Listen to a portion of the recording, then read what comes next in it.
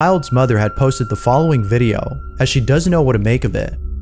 She was in the same room as her son when out of nowhere, he began to cry.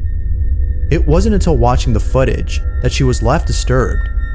The mother writes, I'm still trying to figure out if the camera glitched or something pushed my baby. This is what was caught.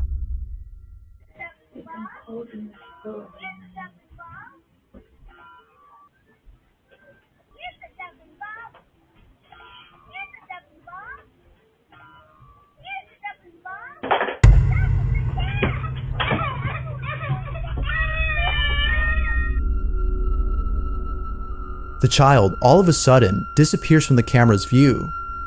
It appears that he was pushed over forcefully. The question is, though, what exactly had pushed him over? The cradle in the back continues to swing as the child vanishes from the frame, suggesting that this wasn't a glitch. If it was, then the swing would have skipped a frame, just like the child had. But, as you can see, not a single frame is skipped. So then, if this wasn't a glitch, then what was it?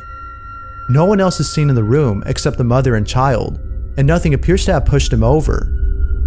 As with all videos, it's up to you to decide if this is something paranormal or not. The child's mother has yet to figure that out. But as always, feel free to share what you think.